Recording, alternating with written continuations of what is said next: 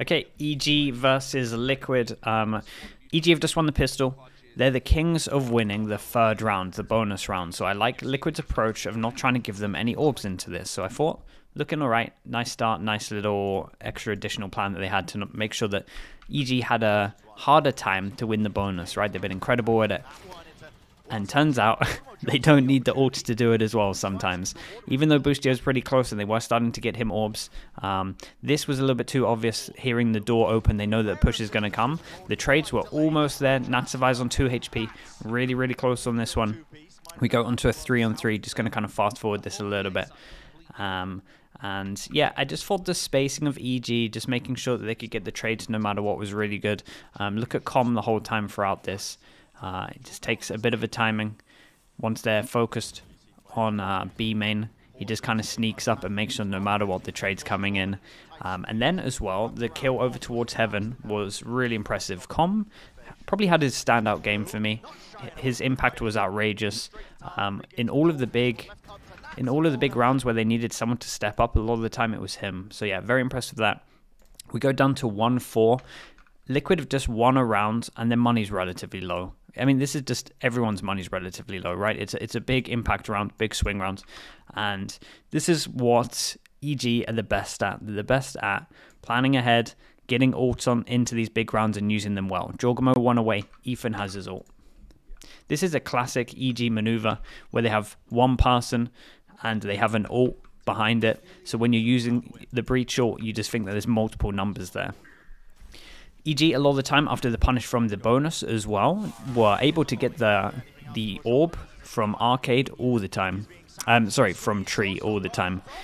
Yeah, just this. They get the early information that they're flanking with a def here, but yeah, just the overwhelm, the double ults used together, give them the advantage into this one. And I just thought they played it really well, forcing Liquid down to an eco.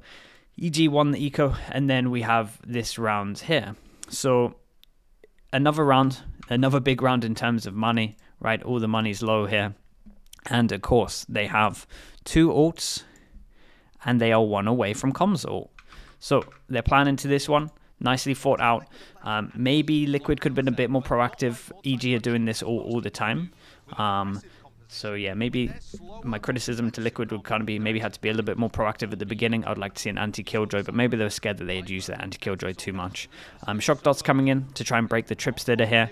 They use the they use the ult and then they use the brim ult on top of it in case anyone's here. Try and get a kill with the stun as well, delay some time. And like we said, Com is one away, and Com gets his ult into this with the plant. So love this a lot. Just again, just thinking ahead, just making sure that person that is like one away is either getting an orb or getting an, an ult. Or, and when they have these ults, they're making sure that they're using them into the most important round to just give them the advantage. All three ults used into this, they know if they win this, they're going to force them down to an eco. And yeah, just even playing underpass, time was just run run so low. They had aftershock as well from the breach. So no matter, even if the jewels go the way of Liquid, the time's just so low and there's nothing they can do either way. So love the approach from them.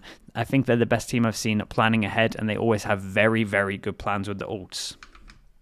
We now go into a round. Another another big round in terms of the money.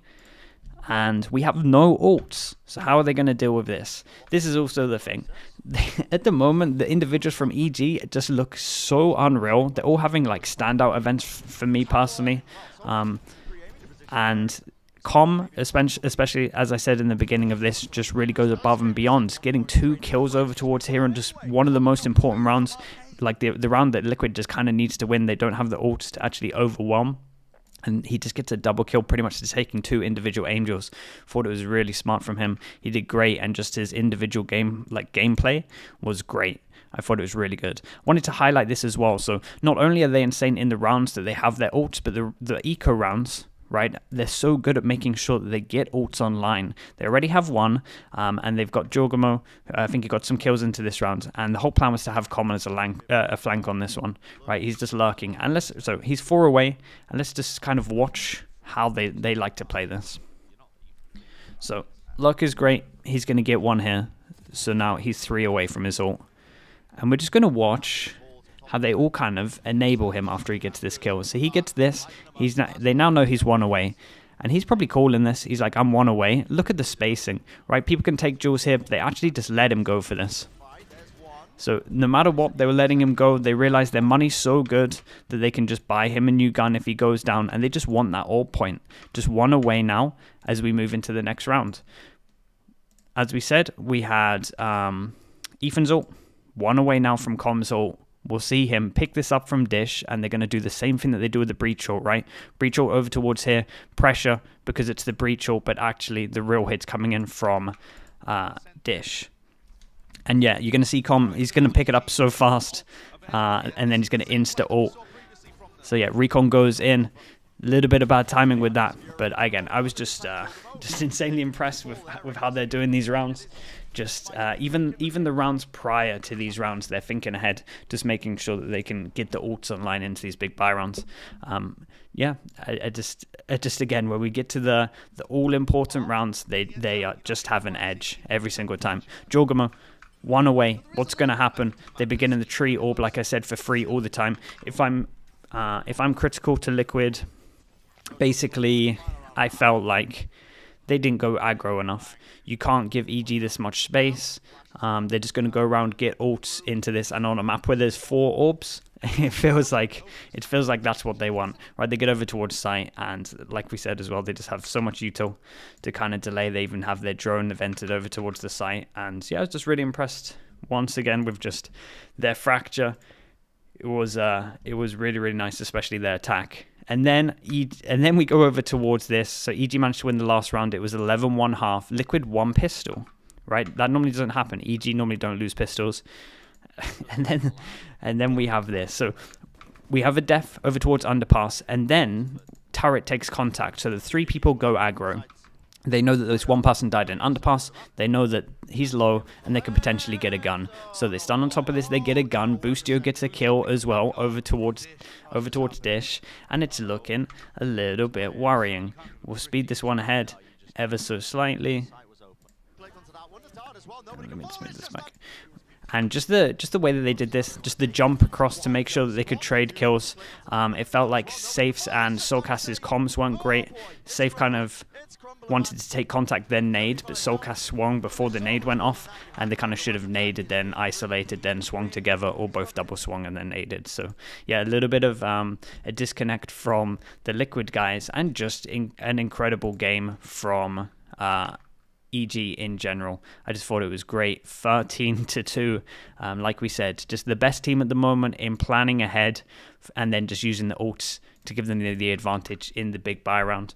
Um, yeah, it's pretty much the Valorant of the future. That's what Sideshow said uh, in one of the other games, and I have to agree. When I watch them on this map, it looks like it. When you give them, they're kind of similar to the old DRX. When you give them space, it just feels like they're gonna completely dominate the game. You kind of want to go aggro against them and mess up their game plan. And I only saw like two aggro rounds from Liquid. So yeah, I wasn't super impressed by that.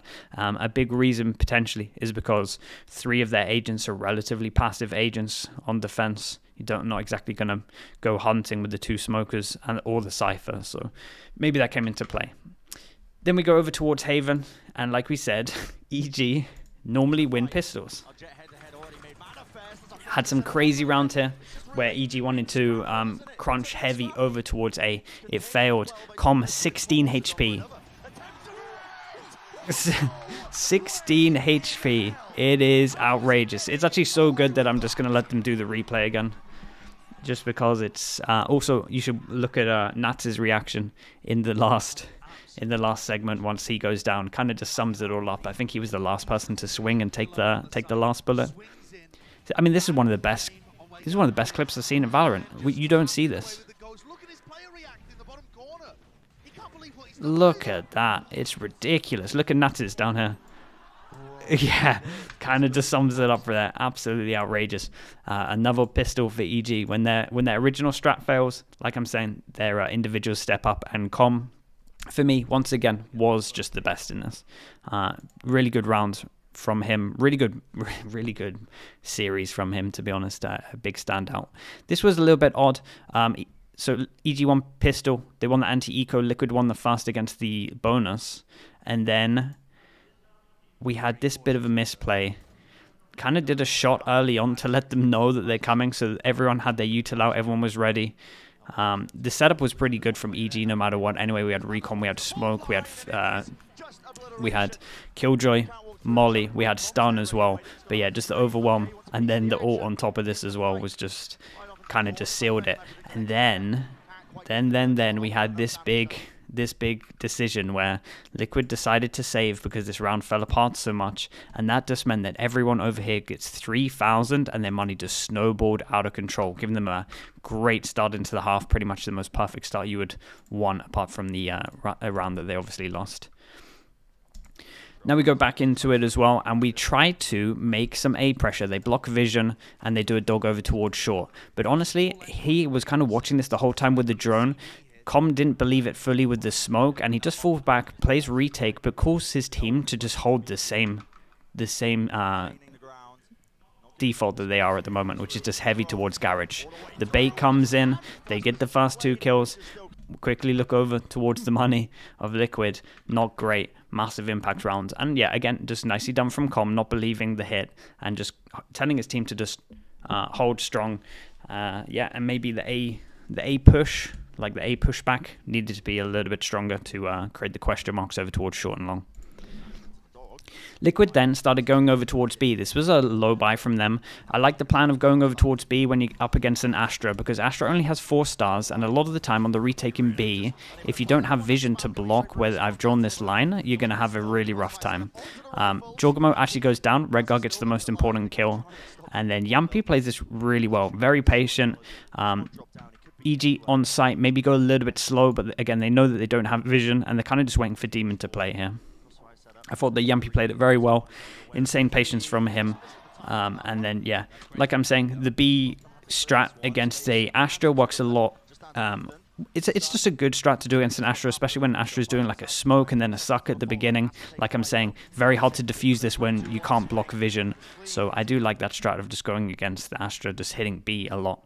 And it felt like they started to implement this a good amount of times. We saw it. Um, we saw it. I think it's three rounds in a row actually that we saw it this round as well. They baited it in with a Killjoy over towards C, try and get a rotate, and then hit over towards B, but actually take the A connector. I like this a lot. I thought it was really good. Also, like I'm saying, going B against an Astra is great. And uh, yeah, this bit of map control was really, really cool. Yeah, bit of a bit of a jump bug. Sayf has that often, but Jamppi did did good into this, and I think we eventually saw a pause afterwards to kind of talk about how they wanted to approach B. We had this round where ah man, it, it, like they went B again, but Redgar did this. Uh, he does his A default where he goes a little bit aggro, and I, I really kind of hate it. And EG exploited it. Then they went to try it and hit B, but they had no smokes, so it really kind of fell apart. So that's why that round was uh, was won. Then, um, because they kept on going B, like literally three rounds in a row, we saw it. EG decided to do this aggro push over towards middle. Liquid are just still going right. Well, if we had a smoker here, we would have won this, so we can keep going B. And then, yeah, EG called this kind of punish for middle. Everyone's facing. We have comms all coming in from the side as well that they have to dodge. We got we got two person swing from middle. We got one person from garage getting enabled with with the uh, with comms ult as well. I just thought it was a very nice plan and just a good way to shut down B. It's not uh, it's not holding B heavier. It's just going aggro and stopping their plan. Another B hit, of course, because that's what's been working. Why would Liquid do anything else? Shout out to Nats. He actually had a pretty good game in the end. Um, getting clutches, looking like prime Nats that we used to, that we're kind of just used to. Um, but honestly, just wasn't enough through some of this Liquid kept on getting dominated at short. No matter what happened, if there was a stun, the timing was slightly off. The overwhelm, even the seekers that he's killing here before he gets the two kills. So short was just not uh it was just it was just not the place for them. Um, EG just coming out on top every single time. Then we go over towards the second half. Um, it was a 7-5 half. Liquid now won the pistol, and this is their bonus against the B hit. Uh, sorry, C here.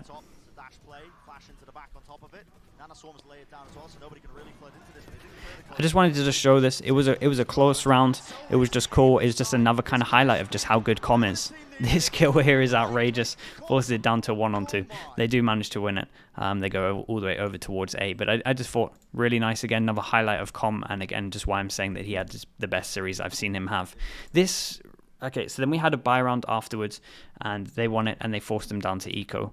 This felt really odd for me. Liquid against a low buy decided to play retake on A when they had no ults. They also had the op in play, which I don't really recommend. Um, leaving A when you have the op in play makes it a little bit harder. I also wanted to just shout out EG. They looked into Liquid's retake. They realized that they can't play under Balk, and I love how they approach this. They plant in the open. They have three people that are behind the second wave, and then we have the first wave on site trying to do damage. And the plant's good. It's a good plant for long and short. And we also have comms all to um, help delay. So yeah, as soon as this original hit comes in, you're going to see why they can't play underpass, right? That gets all of the corners. Um, and then the smoke comes in. He can then get into underpass, which they think that they've cleared. All comes in, try and delay the actual push. Does do a lot of damage. I think he connected with two. And then, yeah, just the actual, not expecting underpass with all of this and just the after plant here. Ethan does incredible to get this kill. Um, obviously, taking down the low HP that we saw from the Sova ult doing so much damage. jawgemo, time is super low, so that's why they have to stick it. jawgemo just so patient. Nice 1v3 from him. And yeah, just a great round overall. Maybe Liquid shouldn't have played retake against the low buy. And then we had another. It, honestly, it did start turning into a few rounds where Liquid were just making mistakes in my mind. Um, They've just used the Killjoy ult. The spike's gone down, so everyone's forced to go down over towards C. It's all about Redgar smoke. Redgar then does this smoke. Obviously, they Redgar then does this smoke, which for me is like a no-no. What you want to do a lot of times, you want to smoke the spike itself, which then means that you can duel in front of it. Otherwise, you just give them full freedom to stand anywhere here and just spam the uh, plant itself. So yeah, that was a bit of a mistake for me. They do manage to get it half, but as you can see, like they're just freely spamming here the whole time, managing to get everyone that's just sticking onto the spike. And even even though um, even though Sayf is on top of the site, his vision's blocked by the smoke, so it's just a guess game. Soulcast does well to make it doable. Nats obviously killed the Lark, but in return got hit by the ult. And yeah, Boostio plays it well, but just time is low as well. And yeah, just another mistake in terms of the smoke for me. Got to be smoking the spike. You want to be punishing the people that are spamming the diffuser.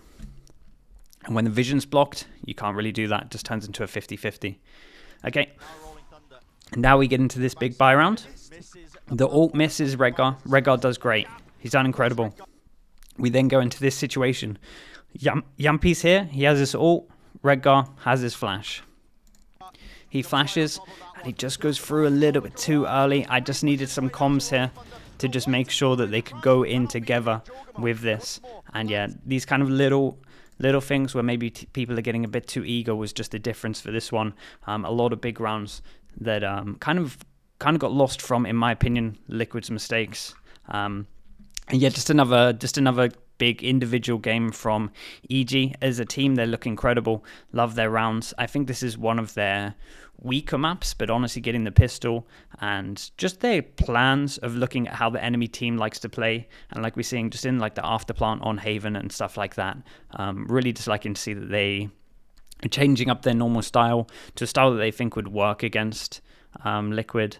So yeah, super happy. EG is going to be playing EG is going to be playing Fnatic. I'm really excited for this game. They're both looking um, potentially in the best form they've ever looked, both of these teams. So it should be an absolute banger. In terms of Liquid, they go down to play NRG, and I think I'm a little bit worried. They can't play. They can't be playing this level. They have to be playing a better level than what we've kind of seen from them in this game to win that one, in my opinion. So slightly worried, um, but yeah, we'll see how it goes. A little bit longer on this one. We almost got it under 20 minutes, so that's not too bad. Um, if you like this kind of content, you know what to do. Let me know in the comments, and I will see you on the next one.